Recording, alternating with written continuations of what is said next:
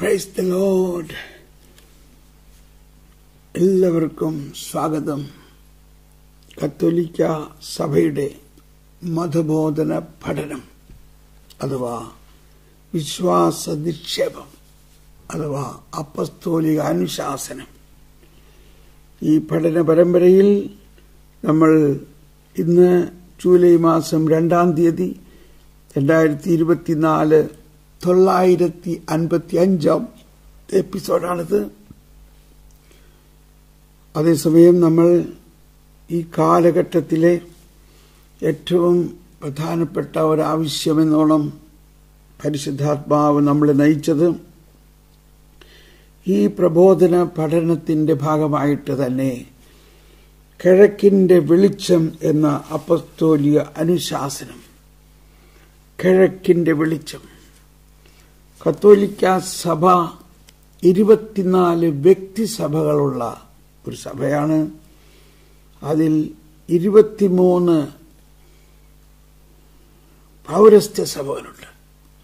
ആ പൗരസ്ത്യ സഭകളുടെ ആരാധനക്രമങ്ങളും അതിന്റെ പാരമ്പര്യങ്ങളും വളരെ പ്രാധാന്യമറിയിക്കുന്നതാണെന്ന് പരിശുദ്ധ കത്തോലിക്ക സഭ മുഴുവനായി സ്വീകരിച്ചിരിക്കുന്നതും മാർപ്പാപ്പ എല്ലാ സഭാ മക്കളോടുമായിട്ടത് ആഹ്വാനം ചെയ്യുന്നതാണ്. പ്രത്യേകിച്ച് എറണാകുളം അങ്കമാലി അതിരൂപതയുടെ ഈ പ്രശ്നം കൊണ്ടാണ് നമ്മളിതെല്ലാം പഠിക്കാൻ ഇടയായത്. അതുകൊണ്ട് നമുക്ക് അത് വലിയ അനുകൂലമായി കിട്ടി. അപ്പോഴാണ് നമ്മൾ മനസ്സിലാക്കുന്നത് പൗരസ്ത്യ സഭയുടെ പ്രത്യേകതയും എന്നാൽ അതേ സമയത്ത് പാശ്ചാത്യ സഭയായാലും അതിനും അതിന്റേതായിട്ടുള്ള പൈതൃകവും പാരമ്പര്യമുണ്ട് പക്ഷേ അതിനെക്കുറിച്ച് ആർക്കും ഒരു തർക്കമില്ല.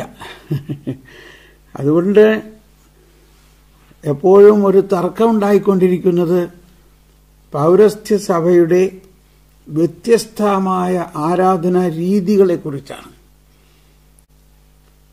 അപ്പോൾ പലർക്കും പല ആശയങ്ങളാണ്.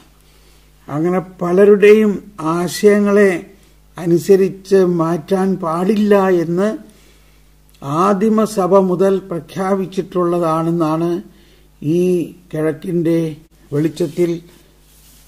അതുപോലെ തന്നെ കിഴക്കൻ സഭകളെക്കുറിച്ചുള്ള വത്തിക്കാൻ പ്രബോധനത്തിലെല്ലാം ഉച്ചസ്ഥരം പറയുന്നത് അതാണ് ഈ പ്രബോധനത്തിലൂടെ നമ്മൾ മനസ്സിലാക്കിക്കൊണ്ടിരിക്കുന്നത്. ഇന്നലെ നിങ്ങളെല്ലാവരും കേട്ട് കാണും major archbishop his B attitude.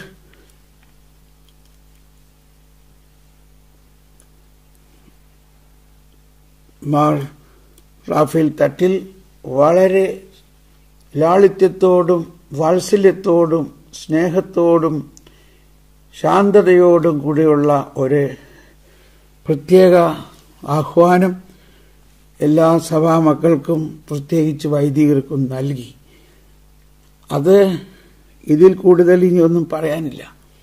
ഇന്നും കൂടി ഈ പ്രാർത്ഥന നമ്മൾ പ്രാർത്ഥിക്കുന്നു. തീർച്ചയായിട്ടും നമ്മൾ ഇന്നലെ കേട്ട പോലെ നമ്മൾ ഭഗ്നാശരാകാതെ പ്രാർത്ഥിക്കുന്നു. കർത്താവ് ഈ ഏതാനും വൈദികരുടെ മനസ്സിൽ ഒരു അനുസരണവും എളിമയും ഉണ്ടാകുക. അത്രേ ആവശ്യമുള്ളൂ. വെരി സിമ്പിൾ അതിൽ ഏറ്റവും പ്രധാനമായിട്ട് ഇപ്പം ഇത്രയേ ഉള്ളൂ. ഒരു ദിവസമെങ്കിലും ആഴ്ചയിൽ ഒരു ദിവസമെങ്കിലും ഈ കുർബാന ഒന്ന് ചെല്ലുക. നിങ്ങൾ സഭയോട് മാർപ്പാപ്പയോടും മേജർ ആർച്ച് ബിഷപ്പിനോടും മെത്രാനോടും അനുസരണത്തിൽ ചെയ്തോളാമെന്ന് ബൈബിൾ തൊട്ട് സത്യം ചെയ്തിരിക്കുന്ന അത് പാലിക്കണം. എല്ലാ സന്യസ്തരും അനുസരണം എന്നത് പാലിക്കണം. എല്ലാ വിശ്വാസികളും സഭാമാതാവിനോട് ചേർന്ന് നിൽക്കണം. ഇത് നമുക്ക് ഇതൊന്നുകൂടി ഉൾക്കൊണ്ടുകൊണ്ട് നമുക്ക് പ്രാർത്ഥിക്കാം.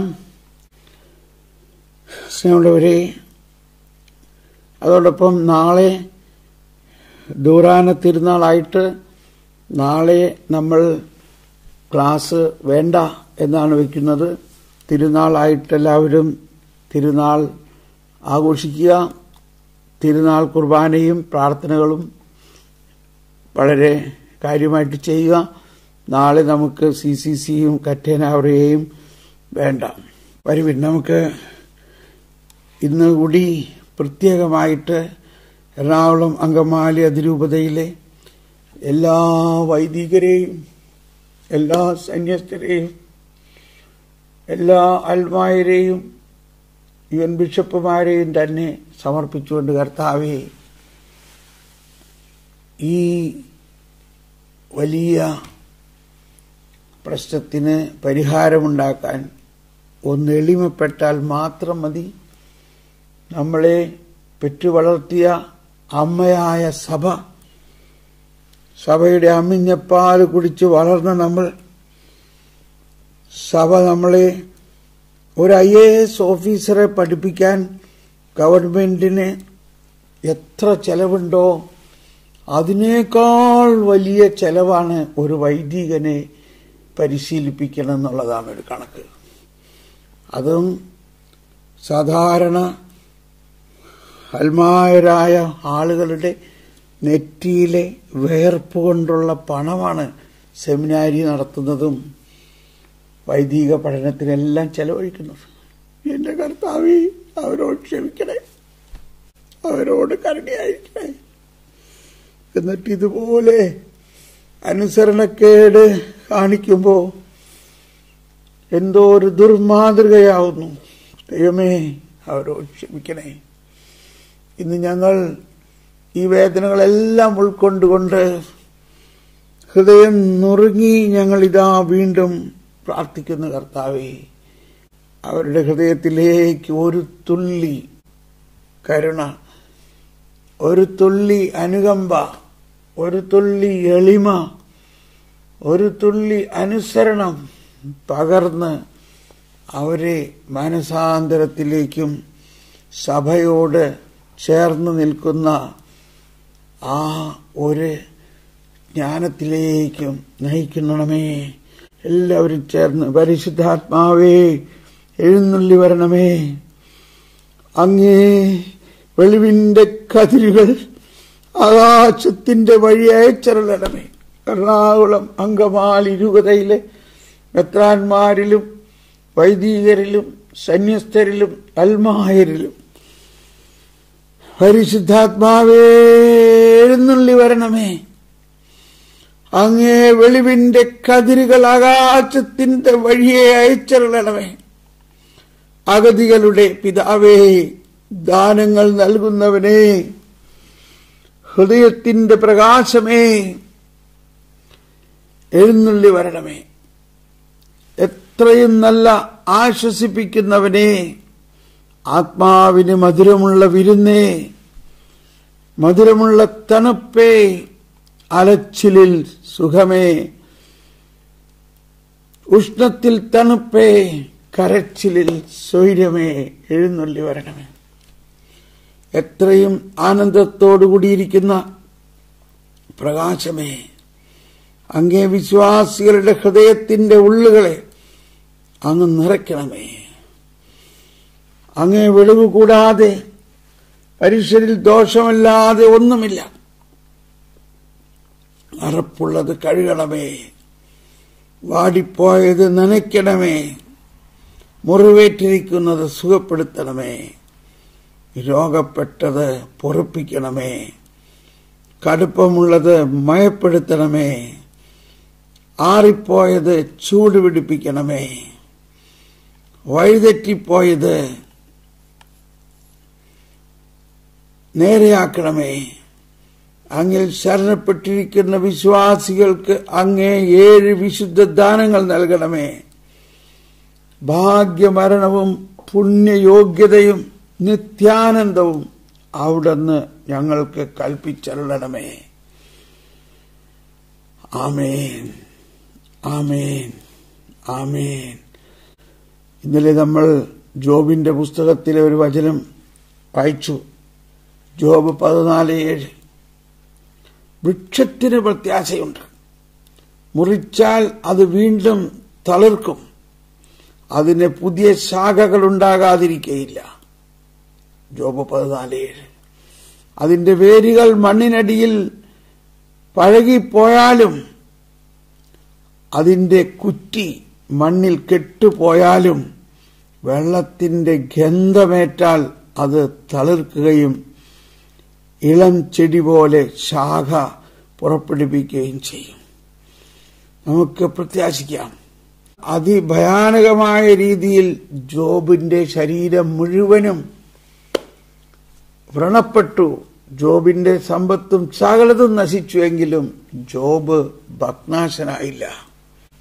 സഭയെ മാതാവായി കാണാത്തവന് ദൈവത്തെ പിതാവായി ലഭിക്കുകയില്ല. Saint Cyprian Cyprian C C C നൂറ്റി എൺപത്തൊന്ന് സഭയെ മാതാവായി കാണാത്തവന് ദൈവത്തെ പിതാവായി ലഭിക്കുകയില്ല. വരുവിൻ നമുക്ക് കിഴക്കിന്റെ വെളിച്ചത്തിന്റെ പഠനത്തിലേക്ക് പ്രവേശിക്കാം. കിഴക്കിന്റെ വെളിച്ചം ഓറിയന്റാലെ ലൂമൻ എട്ടാമത്തെ വലിയ പാരഗ്രാഫിന്റെ മൂന്നാം ഭാഗമാണ് നമ്മൾ പഠിച്ചുകൊണ്ടിരുന്നത്. അത് വളരെ പ്രധാനമായ പ്രബോധനമാണ്. അത് ഒന്നുകൂടി ഞാൻ വായിക്കാൻ ആഗ്രഹിക്കുകയാണ്. ഓരോ സഭയുടെയും ആചാരങ്ങളും പതിവുകളും ഒരിക്കലും മാറ്റപ്പെടാൻ പാടില്ലാത്തവയായിട്ടാണ് പരിഗണിക്കപ്പെടുന്നതെങ്കിൽ വളരുകയും വികസിക്കുകയും ചെയ്യുന്ന സജീവമായ ഒരു യാഥാർത്ഥ്യമെന്ന വിശേഷ ലക്ഷണം പാരമ്പര്യത്തിന് നഷ്ടപ്പെടുമെന്ന അപകട സാധ്യതയുണ്ട് പക്ഷേ ഇതിനെ പോസിറ്റീവായിട്ടാണ് പറയുന്നത്. ഇതാണ് പലരും പറയാറുള്ളത്. ഈ പാരമ്പര്യം പാരമ്പര്യം എന്ന് പറഞ്ഞിരുന്നാൽ പോരാ. നമ്മൾ കാലഘട്ടത്തിനനുസരിച്ച് പുരോഗതിക്കനുസരിച്ച് നവീകരിക്കപ്പെടണമെന്ന്. പക്ഷെ അങ്ങനെയല്ല എന്നാണ് ഇവിടെ പറയുന്നത്. അതിന് കാരണം ഇതാണ്.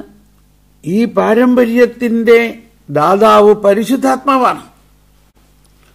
ആ പരിശുദ്ധാത്മാവ് വിസ്മയനീയമായ രീതിയിൽ അതിനെ പകർന്നു കൊടുത്തോളും.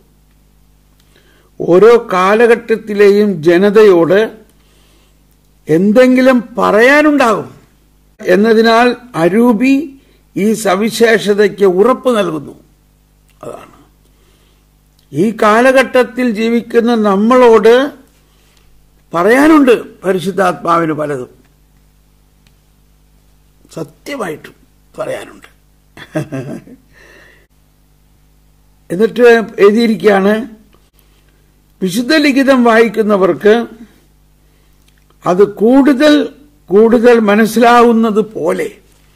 അതാണ്. വിശുദ്ധ ലിഖിതം ഇപ്പൊ സുവിശേഷം വായിക്കുന്നവർക്ക് ഒരേ സുവിശേഷം തന്നെ. എത്ര പ്രാവശ്യം വായിച്ചു? നൂറ് പ്രാവശ്യം വായിച്ചാൽ പോരെ? പക്ഷെ വീണ്ടും വീണ്ടും വായിക്കുമ്പോൾ അതിന്റെ അകത്ത് ഒളിഞ്ഞിരിക്കുന്ന വലിയ രഹസ്യങ്ങൾ അനാവരണം ചെയ്യപ്പെടുകയാണ്. അതുപോലെ തന്നെയാണ് സഭയുടെ ജീവിക്കുന്ന പിതൃസ്വത്തിന്റെ മറ്റൊരു ഘടകവും. ഇവിടെ പറഞ്ഞിരിക്കുന്നത് സഭയുടെ ജീവിക്കുന്ന പിതൃസ്വത്ത്. നമ്മൾക്ക് ഈ പാരമ്പര്യത്തെക്കുറിച്ച് വ്യക്തമായ അറിവില്ലാത്തത് കൊണ്ടാണ്. പാരമ്പര്യത്തിനെ കുറിച്ച് പറയുന്നത് സഭയുടെ ജീവിക്കുന്ന പിതൃസ്വത്ത് എന്നാണ്. ഇതിന്റെ മുൻപുള്ള പാരഗ്രാഫിൽ എന്താണ് ഈ പാരമ്പര്യം എന്നതിനെക്കുറിച്ച് പറഞ്ഞിരിക്കുന്നത് ഒന്നുകൂടി വായിക്കാം. എന്താണത്? മിസിഹായുടെ സഭയുടെ പിതൃസ്വത്താണ് പാരമ്പര്യം. രണ്ടാമത്തെ പാരഗ്രാഫ്. എന്നിട്ട് പറയാണ് എന്താണത്? സ്ലീഹന്മാർ കണ്ടുമുട്ടുകയും സാക്ഷ്യം നൽകുകയും ചെയ്ത ഉയർത്തെഴുന്നേറ്റവനെ കുറിച്ചുള്ള സജീവ സ്മരണയാണത്. പാരമ്പര്യം ആരുടെയെങ്കിലും തോന്നലിൽ നിന്നുണ്ടായതല്ല. ഉയർത്തെഴുന്നേറ്റ കർത്താവ് നാൽപ്പത് ദിവസം അപ്പസ്തോലന്മാരുടെ കൂടെ ജീവിച്ചു. ആ കാലഘട്ടത്തിൽ ഉയർത്തെഴുന്നേറ്റ കർത്താവ് തന്റെ ഉത്ഥിത ശരീരത്തോടെ അവരോട് കൂടെ ആയിരുന്നപ്പോൾ പഠിപ്പിച്ച കാര്യങ്ങൾ. അത് തന്നെയാണ് സുവിശേഷത്തിലും വന്നിരിക്കുന്നത്. സുവിശേഷവും അന്ന് ആരും രേഖപ്പെടുത്തിയതല്ല.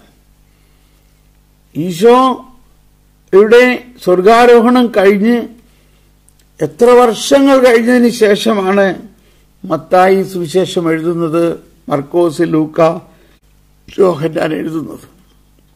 എങ്ങനെ അവരെഴുതി? ഈശോ പറഞ്ഞ കാര്യങ്ങൾ പരിശുദ്ധാത്മാവ് അവരെ ഓർപ്പിച്ചു. അവരത് എഴുതി. മർക്കോസും ലൂക്കായൊന്നും അപ്പസ്തോലനായിരുന്നേയില്ല. യോഹന്നാനും മത്തായും അപ്പസ്തോലന്മാരായിരുന്നു. ഈശോയോട് കൂടെ ആരംഭം മുതലേ ഉണ്ടായിരുന്നു.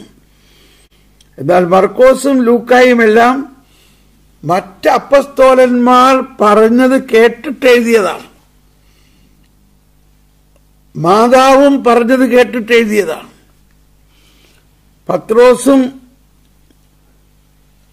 പൗലോസും എല്ലാം പറഞ്ഞത് കേട്ടിട്ട് എഴുതിയതും പരിശുദ്ധാത്മാവ് അവർക്ക് ഓർപ്പിച്ചു കൊടുത്തതുമാണ്. അപ്പോൾ പത്രോസ് പറഞ്ഞത് കേൾക്കുന്നു എന്ന് പറഞ്ഞാൽ പത്രോസ് ഈശോ പറഞ്ഞ കാര്യങ്ങൾ അത് അവരുടെ ഹൃദയത്തിലങ്ങ് ആലേഖനം ചെയ്യാണ് നമ്മൾ തന്നെ ദൈവം നമ്മളോട് സംസാരിക്കുന്ന കാര്യങ്ങൾ നമുക്കൊരിക്കലും മറക്കാൻ പറ്റില്ല. ഇപ്പോ മുപ്പത്തിമൂന്ന് വർഷം മുമ്പാണ് എന്നോട് കർത്താവ് ആദ്യമായി സംസാരിച്ചത് വിളവ് വളരെ വേലക്കാർ ചുരുക്കം നീ എനിക്ക് വേണ്ടി പോകാമോ? ഇത് എന്റെ ജീവിതത്തിൽ എനിക്ക് ഒരിക്കലും മറക്കാൻ പറ്റില്ല. എന്ന പോലെ ഉയർത്തെഴുന്നേറ്റ കർത്താവ് മുഖാമുഖം അപ്പസ്തോലന്മാരോട് സംസാരിച്ച കാര്യങ്ങൾ അത് അതേപടി അവരുടെ ഹൃദയത്തിൽ ആലേഖനം ചെയ്യപ്പെടുകയും അതാണ് പിന്നെ അവർ പ്രഘോഷിക്കുന്നതും പഠിപ്പിക്കുന്നതും. അതാണ് പാരമ്പര്യം.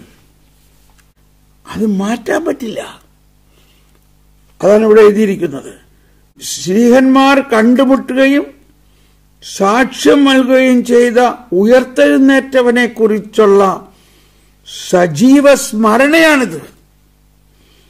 സജീവമായ ഈ ഓർമ്മ തങ്ങളുടെ പിൻഗാമികളിലൂടെ ഇടമുറിയാതെ അവർ കൈമാറി. അപ്പോ ഇതിപ്പോ കുറച്ചുകൂടി ക്ലിയറായി അപ്പൊ ഈ പാരമ്പര്യവും സുവിശേഷവും തമ്മിൽ വലിയ വ്യത്യാസമില്ല. കറ്റിക്കിസത്തിൽ നമ്മൾ പഠിക്കുന്നുണ്ടത് ഡൈവർബം എന്ന് രണ്ടാം വറ്റിക്കാൻ സുനദോസിലെ പ്രബോധനത്തിലും പറയുന്നുണ്ട്. വാസ്തവത്തിൽ രണ്ട് ശ്രേണി ഉണ്ടായി. ലിഖിത സുവിശേഷവും അലിഖിതമായിട്ടുള്ളത്. വാമൊഴിയും വരമൊഴിയും. വാമൊഴിയും വരമൊഴിയും. എന്നാൽ ഇത് രണ്ടും പാരമ്പര്യത്തിൽ നിന്ന് വരുന്നതാണ്. ലിഖിതമായത് ഈശോ പറഞ്ഞ സമയത്ത് ആരും എഴുതി വെച്ചതല്ല. അത് പിന്നീട് എഴുതിയതാണ്. അപ്പോ ആ സുവിശേഷ ഭാഗം നമുക്കിന്ന് മാറ്റാനുള്ള അനുവാദമുണ്ടോ? ബൈബിളിലെ ഏതെങ്കിലും ഒരു പേജോ ഒരു വരിയോ മാറ്റാൻ നമുക്ക് അനുവാദമുണ്ടോ? മാർപ്പാപ്പയ്ക്ക് അനുവാദമുണ്ടോ? ഇല്ല. എന്ന പോലെ തന്നെയാണ് സഭയുടെ വിശുദ്ധ പാരമ്പര്യം വിശുദ്ധ പാരമ്പര്യം എന്നാ പറയണത് സജീവ പാരമ്പര്യം എന്നാ പറയണത്. സഭയുടെ ജീവിക്കുന്ന പിതൃസ്വത്തിന്റെ മറ്റൊരു ഘടകവും വിശ്വസ്തതയിലും തുടർച്ചയിലും വിശ്വാസികൾ കൂടുതൽ കൂടുതൽ മനസ്സിലാക്കുകയും പുതിയ സംഭാവനകളാൽ എന്താണ് പുതിയ സംഭാവന എന്ന് പറയുന്നത് പുതിയ സംഭാവന എന്ന് പറയുന്നത് കണ്ടോ? ഇപ്പോ ഈ കിഴക്കിന്റെ വെളിച്ചം പുതിയ സംഭാവനയാണ്. ഇനി നമ്മളോട് പറയുന്നത് അതിനെ വീണ്ടും ഒരു പുതിയ സംഭാവനയാക്കിക്കൊണ്ട് അതിനെ വിശദീകരിച്ച ഒരു പുസ്തകം ഉണ്ടാക്കാനാണ് പറയുന്നത്. ഇതിൽ പറഞ്ഞിരിക്കുന്ന ഓരോ വാക്കിനെയും കൂടുതൽ വിശദീകരിച്ച് സാധാരണ ആളുകൾക്ക് മനസ്സിലാവുന്ന രീതിയിൽ പുസ്തകമാക്കണം. എന്നിട്ട് പറയുന്ന ഒരു കാര്യമാണ് വിശ്വാസത്തിൽ നിന്നുടലെടുക്കുന്ന അനുസരണയിൽ മതാത്മകമായി സാംശീകരിക്കുമ്പോഴാണ് സംസ്കാരികവും ചരിത്രപരവുമായ വ്യത്യസ്ത സാഹചര്യങ്ങളിലും അവസ്ഥകളിലും അതിന് സാക്ഷാത്കാരം ലഭിക്കുക. സാക്ഷാത്കാരം ലഭിക്കുക.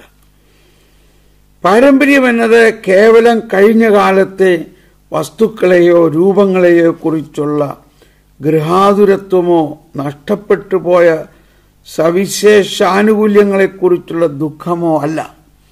അടുത്തതാണ്. പ്രത്യുത തന്നിൽ വസിക്കുന്ന സ്നേഹത്താൽ അല്ലെങ്കിൽ തന്നിൽ വസിക്കുന്ന മിശിഹായാൽ നിത്യയുവത്വം നിലനിർത്തുന്ന മണവാട്ടി തിരുസഭയെക്കുറിച്ചുള്ള സജീവ സ്മരണയാണത് അപ്പൊ ഈ സ്മരണ എന്ന് പറയുന്നത് വീണ്ടും പറയാൻ ഒരു വാക്കുകൂടി പറയാണ്. ഇത് അനേകം രക്തസാക്ഷികൾ ഇതിനു വേണ്ടി രക്തം ചിന്തിയതാണ്. ഈ കുർബാനയ്ക്ക് വേണ്ടി തന്നെ ഈ കുർബാന ഇതുപോലെ ആഘോഷിക്കുന്നതിന് വേണ്ടി തന്നെ അനേകം പേർ രക്തം ചിന്തിയതാണ്. അത് പിന്നെ എങ്ങനെയാ? അത് മാറ്റാൻ പറ്റുക. ഓക്കെ. ഇനി നമുക്ക് ഈ എട്ടാമത്തെ ഖണ്ണികയുടെ അടുത്ത ഭാഗത്തിലേക്ക് പോകാം. പാരമ്പര്യം ഭൂതകാലവുമായി നമ്മെ ബന്ധിപ്പിക്കുന്നെങ്കിൽ ആ ഇതാണ് ഓർമ്മയും പ്രതീക്ഷയും. ഇത്രയും നേരം പറഞ്ഞത് ഭൂതകാലത്തെക്കുറിച്ചാണ്. ഇനി പറയുന്നത് ഭാവി കാലത്തെക്കുറിച്ചാണ് യേശുക്രിസ്തുവിൽ നിന്ന് സ്വീകരിച്ചതും അപ്പസ്തോലന്മാരിലൂടെ കൈമാറ്റം ചെയ്തതും സഭാപിതാക്കന്മാർ വ്യാഖ്യാനിച്ചതും വിശുദ്ധരുടെ വളർന്നതുമായ പാരമ്പര്യമാണത്. ഇത് കാറ്റഗിസത്തിൽ പഠിപ്പിക്കുന്നതാണേ. യേശുക്രിസ്തുവിൽ നിന്ന് സ്വീകരിച്ചതും അപ്പസ്തോലന്മാരുടെ കൈമാറ്റം ചെയ്തതും സദാപിതാക്കന്മാർ വ്യാഖ്യാനിച്ചതും വിശുദ്ധരിലൂടെ വളർന്നതുമായ പാരമ്പര്യമാണ്. അതാണ് പാരമ്പര്യം. ഇനി നമ്മളിവിടെ വായിക്കുന്നത് ഭാവി കാലത്തെക്കുറിച്ചാണ്. ഇത്രയും സമയം പാരമ്പര്യത്തെക്കുറിച്ചുള്ള ഭൂതകാലമാണ്. ഇനി പ്രതീക്ഷ ഭാവികാലം. പാരമ്പര്യം ഭൂതകാലവുമായി നമ്മെ ബന്ധിപ്പിക്കുന്നെങ്കിൽ യുഗാന്ത്യോത്മുക പ്രതീക്ഷ ദൈവത്തിന്റെ ഭാവി കാലത്തിലേക്ക് നമുക്ക് കവാടം തുറക്കുന്നു. ഈ tradition puts us in continuity with the past, eschatological expectations opens us to God's future. അതാണ് പാരമ്പര്യം ഭൂതകാലവുമായി നമ്മെ ബന്ധിപ്പിക്കുന്നെങ്കിൽ യുഗാന്ത്യോത്മുക പ്രതീക്ഷ ദൈവത്തിന്റെ ഭാവി കാലത്തിലേക്ക് നമുക്ക് കവാടം തുറക്കുന്നു യുഗാന്ത്യോത്മുക പ്രതീക്ഷ ദൈവത്തിന്റെ ഭാവി കാലത്തിലേക്ക് നമുക്ക് കവാടം തുറക്കുന്നു. തങ്ങൾ ചെയ്യുന്നതാണ് സമ്പൂർണമെന്ന് ചിന്തിച്ച് സ്വയം ആഘോഷിക്കുകയോ ദുഃഖത്തിന് സ്വയം കീഴടങ്ങുകയോ ചെയ്യുന്ന പ്രലോഭനത്തിനെതിരെ ഓരോ സഭയും പൊരുതേണ്ടതാണ്. അതാണ്. ഇപ്പോ ഭാവി കാലത്തെക്കുറിച്ച് ഒരുപാട് സന്ദേശങ്ങളും മെസ്സേജുകളും പലരും പറയുന്നുണ്ട്. ഉണ്ടോ? ഇതിനു മുമ്പ് മെസ്സേജുകൾ ഉണ്ടായിട്ടുണ്ട്. ഇത്രാം തീയതി ലോകം അവസാനിക്കും. ലോകാവസാനത്തെക്കുറിച്ച്. എന്നാൽ ലോകാവസാനം എന്ന ആ വലിയ രഹസ്യത്തെക്കുറിച്ച് സഭ പ്രബോധനം നൽകിയിട്ടുണ്ട്. സഭയുടെ പരമ്പരാഗതമായ പ്രബോധനം. കർത്താവ് തന്നെ അന്നും ഇത് പറഞ്ഞിട്ടുണ്ട്. എങ്ങനെ ആയിരിക്കും ഭാവി കാലം എന്നുള്ളത്. അത് വളരെ പ്രതീക്ഷ ഉള്ളതാണ് അത് തങ്ങൾ ചെയ്യുന്നതാണ് സമ്പൂർണമെന്ന് ചിന്തിച്ച് സ്വയം ആഘോഷിക്കുകയോ ദുഃഖത്തിന് സ്വയം കീഴടങ്ങുകയോ ചെയ്യുന്ന പ്രലോഭനത്തിനെതിരെ ഓരോ സഭയും പൊരുതേണ്ടതായുണ്ട്. സമയം ദൈവത്തിന്റെതാണ്. സമയത്തിന്റെ പരിധിയിൽ സംഭവിക്കുന്നതൊന്നും ദൈവരാജ്യത്തിന്റെ പൂർണതയോട് തുലനം ചെയ്യാവുന്നതല്ല. സമയം ദൈവത്തിന്റെതാണ്. ഉണ്ടോ?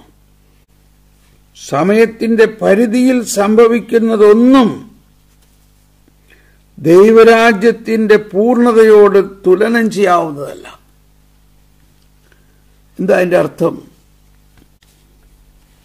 അതിന്റെ അർത്ഥം time is eternal time belongs to God and whatever takes place in time can never be identified with fullness of the kingdom time belongs to God. Whatever take place in time can never be identified with the fullness of the kingdom of God, which is always a free gift. സമയം ദൈവത്തിന്റെതാണ് സമയത്തിന്റെ പരിധിയിൽ സംഭവിക്കുന്നതൊന്നും ദൈവരാജ്യത്തിന്റെ പൂർണതയോട് തുലനം ചെയ്യാവുന്നതല്ല അത് സ്വതന്ത്രമായ ഒരു ദാനമാണ്. അത് ദൈവത്തിന്റെ ദാനമാണ്. നമ്മൾ ലത്തീൻ ആരാധനാക്രമത്തിലെ പെസഹാരാത്രിയിലെ ആ ആ മെഴുകുതിരിയുമ വരച്ചു. Alpha omega. ആ അത് വരച്ചപ്പോൾ ഇതാണ് പറഞ്ഞത് സമയം ദൈവത്തിന്റെതാണ്. ഇന്നലെയും ഇന്നും എന്നും ദൈവം ഒരാൾ തന്നെയാണ്. അതാണ്. അപ്പം ഇന്നലെയും ഇന്നും എന്നും ദൈവം ഒരാൾ തന്നെയാണ്. ദൈവം ആൽഫ ആൻഡ് ഒമേഗയാണ്. സമയം നമ്മുടെ സമയം ടെമ്പറലാണ്. ദൈവത്തിന്റെ സമയം എറ്റേണലാണ്. ടെമ്പറൽ ആയ സമയത്തിലേക്ക് എറ്റേണലായ സമയം കടന്നു വന്ന് ഈ ടെമ്പറൽ ആയ സമയത്തെ എറ്റേണലാക്കിയിരിക്കുന്നു ഈശോ പറഞ്ഞു സുവിശേഷ പ്രഘോഷത്തിന്റെ ആരംഭത്തിൽ ഇതാ സമയം സമാഗതമായിരിക്കുന്നു. This is the fullness of time എന്താണ് ഫുൾനെസ് ഓഫ് ടൈം എന്ന് പറഞ്ഞാൽ ഫുൾനെസ് ഓഫ് ടൈം എന്നതിനെ കുറിച്ച് നോവോ മില്ലീനിയോ അഡ്വാനിയന്റെ എന്ന അപ്പസ്തോലിക പ്രബോധനത്തിൽ ജോൺ പോൾ മാർപ്പാപ്പ പറയുന്നുണ്ട് സമയത്തിന്റെ പൂർണതയിൽ കന്യകയിൽ നിന്ന് ജാതനായി. സമയത്തിന്റെ പൂർണതയിൽ ദൈവം മനുഷ്യനായി. എന്താ അതിന്റെ അർത്ഥം? ഈ വലതുകരം ദൈവത്തിന്റെ സമയം ഇടതുകരം മനുഷ്യന്റെ സമയം. ഇങ്ങനെ ചിന്തിക്കുക. ഇടതുകരം മനുഷ്യന്റെ സമയം. അന്നുവരെ മനുഷ്യന്റെ സമയം ടെമ്പറലായിരുന്നു. മനുഷ്യന്റെ സമയം നശ്വരമായിരുന്നു. എന്നാൽ അനശ്വരമായ നിത്യതയായ ദൈവത്തിന്റെ സമയം ഇതാ മനുഷ്യരിലേക്ക് കടന്നു വന്നു.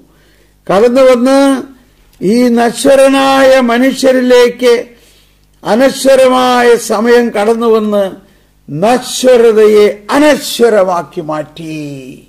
അതാണ്. അതാണ് എസ്കെറ്റോളജി ഹല്ലേ ലുയ മനസ്സിലായി തോന്നുന്നു. ഇപ്പോൾ ഇപ്പം മനസ്സിലായില്ലേ? മനുഷ്യൻ സമയത്തിന് അധീനനാണ്. ദൈവം സമയത്തിന് അതീതനാണ്. ദൈവത്തിന്റെ സമയം എറ്റേണലാണ് മനുഷ്യന്റെ സമയം ടെമ്പറലാണ് അങ്ങനെ മാനുഷികതയിൽ ദൈവികത ലയിച്ചു. അപ്പൊ മാനുഷികത എന്ന് പറഞ്ഞാൽ ടെമ്പററാണ് താൽക്കാലികം. എന്നാൽ ദൈവം അനന്തം. അനന്തനായ ദൈവം യേശുക്രിസ്തുവിന്റെ മനുഷ്യാവതാരത്തിലൂടെ മനുഷ്യനുമായിട്ട് ഒന്നായിക്കൊണ്ട് മനുഷ്യന്റെ സമയത്തെ അനന്തമാക്കി മാറ്റിയിരിക്കുന്നു. അപ്പൊ ഇവിടെ പറയുന്നത് ടെമ്പറൽ അപ്പൊ അത് ദൈവത്തിന്റെ ദാനമാണ്. അത് സ്വതന്ത്രമായ ഒരു ദാനമാണ്. എന്താണ് അത് സ്വതന്ത്രമായ ദാനം? ദൈവത്തിന്റെ അനന്തത മനുഷ്യന് നൽകിക്കഴിഞ്ഞപ്പോൾ മനുഷ്യന് നിത്യജീവനായി. അപ്പൊ നിത്യജീവൻ മരണാനന്തരം ഉണ്ടാവുന്ന ഒരു കാര്യമായിട്ട് ചിന്തിക്കരുത്. യേശുക്രിസ്തുവിൽ വിശ്വസിക്കുന്നവന് നിത്യജീവനുണ്ട്. ഇപ്പോൾ തന്നെ യേശുക്രിസ്തുവിൽ വിശ്വസിക്കുന്നവന് ഇപ്പോൾ തന്നെ നിത്യജീവനുണ്ട്. അവന്റെ സമയം നിത്യതയിലേക്ക് പ്രവേശിച്ചിരിക്കുന്നു. കാരണം നിത്യതയാർന്ന ദൈവം അവരിലേക്ക് വന്നിരിക്കുന്നു.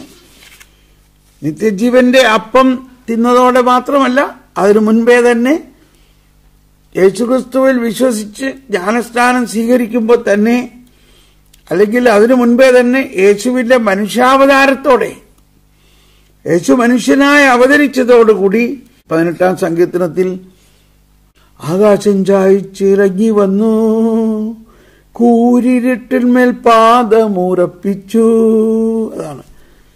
ആകാശം ചായച്ചിറങ്ങി വന്നു ദൈവത്തിന്റെ മനുഷ്യാവതാരത്തിലൂടെ തന്നെ ഈ നിത്യത ആരംഭിച്ചിരിക്കുന്നു. അത് സ്വതന്ത്രമായൊരു ദാനമാണ്.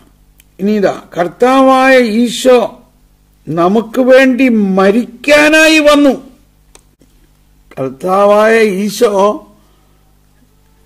എന്തിനാണ് മനുഷ്യാവതാരം ചെയ്തത്?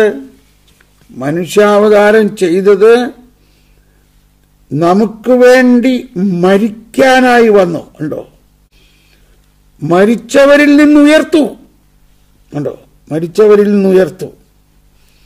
ശിഷ്ടലോകമാകട്ടെ പ്രത്യാശയിലൂടെ രക്ഷിക്കപ്പെട്ടിരിക്കുന്നെങ്കിലും ഇപ്പോഴും ഈറ്റുനോവ് അനുഭവിക്കുന്നു. റോമരട്ടെ ഇരുപത്തിരണ്ട്.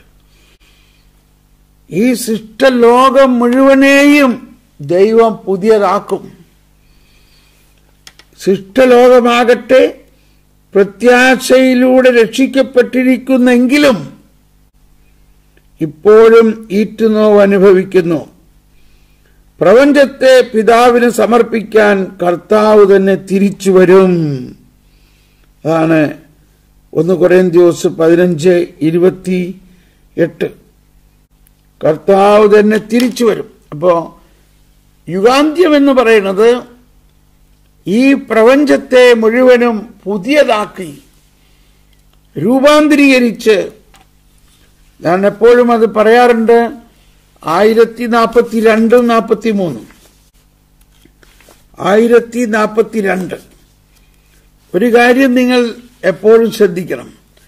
യുഗാന്ത്യത്തെക്കുറിച്ചുള്ള ഏത് ക്ലാസ് കേട്ടാലും അത് സഭയുടെ പ്രബോധനത്തിന്റെ റെഫറൻസ് ഉണ്ടോ? മതബോധന ഗ്രന്ഥത്തിലോ രണ്ടാം വറ്റിക്കാൻ സൂനഹദോസിന്റെ പ്രബോധനത്തിൽ നിന്ന് അതിൽ കൊട്ടേഷൻ ഉണ്ടോ? ഉണ്ടെങ്കിൽ മാത്രമേ അത് നിങ്ങൾ ആധികാരികമായി സ്വീകരിക്കാവൂ. കാരണം ഒരുപാട് വ്യാജ പ്രവചനങ്ങൾ ഈ മേഖലയിലുണ്ട്. അതുകൊണ്ട് നമ്മൾ തെറ്റിൽ വീഴരുത്. യുഗാന്ത്യത്തെക്കുറിച്ച് ആയിരത്തി നാൽപ്പത്തിരണ്ട് നമ്മൾ പല പ്രാവശ്യം വായിച്ചിട്ടുള്ളത് ഒന്നുകൂടി വായിക്കാം. സമയത്തിന്റെ പരിസമാപ്തിയിൽ ദൈവരാജ്യം അതിന്റെ പൂർണതയിലെത്തും. സാർവത്രിക വിധിക്ക് ശേഷം നീതിമാന്മാർ ശരീരത്തിലും ആത്മാവിലും കണ്ടോ ആ ഒരു വാക്കാണ് ഇതിന്റെ കംപ്ലീറ്റ് അർത്ഥവ്യാപ്തി തരുന്നത്. ശരീരത്തിലും ആത്മാവിലും. മഹത്വീകൃതരായി ക്രിസ്തുവിനോടുകൂടെ എന്നേക്കും ഭരിക്കും. ഈശോ വീണ്ടും വരുമ്പോൾ സകല മനുഷ്യരും ഉയർത്തെഴുന്നേക്കും. അവരുടെ അഴുകിയ ശരീരം ഉയർത്തെഴുന്നേക്കും. അതാണ് നമ്മുടെ സിറോ മലബാർ കുർബാനയിലും മലങ്കര കുർബാനയിലും പ്രധാനമായിട്ട് പറയുന്നത്. സിറോ മലബാർ കുർബാനയിൽ സർവാധിപനാം കർത്താവ് പാടുമ്പോൾ അതാണ് പാടുന്നത്.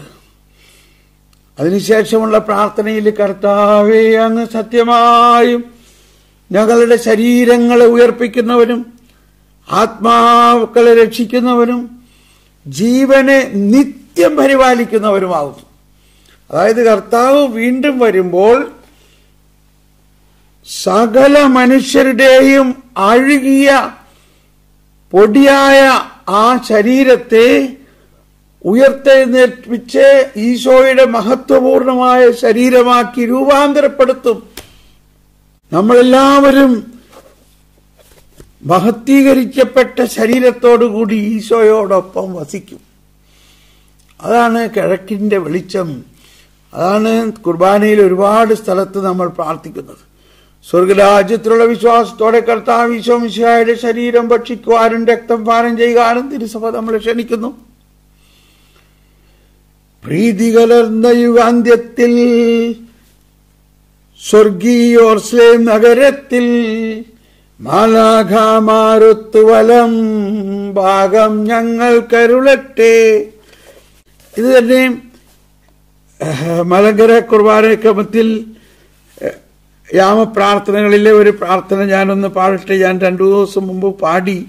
അത് എനിക്ക് വീണ്ടും പ്രാർത്ഥിക്കാൻ വലിയ ഇഷ്ടമുള്ള ഒന്നാണ്. എനിക്കിത് വലിയ ഇഷ്ടമുള്ളൊരു ഭാഗമാണ്. ഇത് മലങ്കര കുർബാന പുസ്തകത്തിലെ നൂറ്റി മുപ്പത്തെട്ടാമത്തെ പേജിലാണ് മാമോദീസ മൂലം മിശിഹാദൻ മുദ്ര പതിഞ്ഞവരായി തന്നുടെ ഗാത്രം ഭക്ഷിച്ചും തൻ രക്തം പാനം ചെയ്തും ജീവിപ്പോർ. പുനരുത്ഥാനാൽ പൂഴിയിൽ നിന്ന് കരേറിയിടും അണിയിക്കപ്പെടും അവർ മഹിമാങ്കി. അതാണ് അതാണ്. പൂഴിയിൽ. ഇതാണ് ഒന്ന് ആലോചിച്ചേ നമ്മളെല്ലാവരും മാമോദിസ സ്വീകരിച്ചു. ക്രിസ്തുവിന്റെ മുദ്ര പതിഞ്ഞവരാണ്. ഈശോയുടെ ശരീരം ഭക്ഷിക്കുന്നവരാണ്. രക്തം പാനം ചെയ്തവരാണ്. എന്നാലും മരിച്ച് പൂഴിയിൽ പോയ നമ്മൾ പൂഴിയിൽ നിന്ന് കരേറിയിടും. അണിയിക്കപ്പെടും അവർ മഹിമാങ്കി. അണിയിക്കപ്പെടും അവർ മഹിമാങ്കി. എന്ന് വെച്ചാൽ മഹത്വത്തിന്റെ വസ്ത്രം അണിയിക്കും എന്ന് പറഞ്ഞാൽ മഹത്തീകരിക്കപ്പെട്ട ശരീരമായി മാറും. ഇത് തന്നെ മറ്റൊരു സ്ഥലത്ത് ഒമ്പതാം മണിക്കൂറിന്റെ പ്രാർത്ഥന പേജ് നമ്പർ നൂറ്റമ്പത്തി ഒന്നിൽ ഇങ്ങനെ പാടുന്നു. പാഴൂഴിയിലുയരും ശൂശാന പൂക്കൾ കൈപ്പണിയില്ലാത്തൊരു വസ്ത്രം ചാർത്തിയിടും പോൽ ആദാമക്കൾക്കായി കുതിച്ച നെയ്ത. വസ്ത്രമുയിർപ്പിൽ ചാർത്തിയിടും പുണ്യാത്മാക്കൾ. ബാരക്കുമോ ശുഭഹോലാബ്രോ ലബ്രോവൽ റോഹോ കാദീശോ.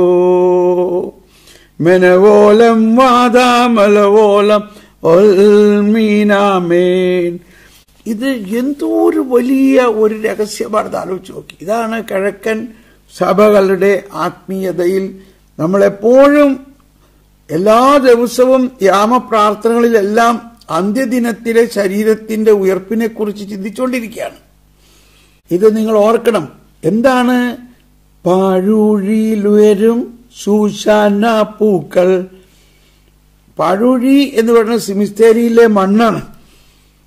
ഈ സിമിസ്റ്റേരിയിൽ വെച്ച് വളർത്തുന്ന ഒരു വെളുത്ത പൂക്കളാണ് സൂശന്ന പൂക്കൾ. ആ പൂക്കളെ പോലെ കൈപ്പണിയില്ലാത്തൊരു വസ്ത്രം ചാർത്തിയിടുമ്പോൾ അതായത് മനുഷ്യകരങ്ങളാൽ നിർമ്മിക്കപ്പെടാത്ത പിന്നെ ആരുണ്ടാക്കിയതാണ്? ആദാമക്കൾക്കായി റുഹുദിശ നെയ്ത. എത്ര മനോഹരം. ആദാം മക്കൾക്കായി റുഹുദിശ നെയ്ത വസ്ത്രമുയർപ്പിൽ ചാർത്തിയിടും പുണ്യാത്മാക്കൾ പാരക്കുമോ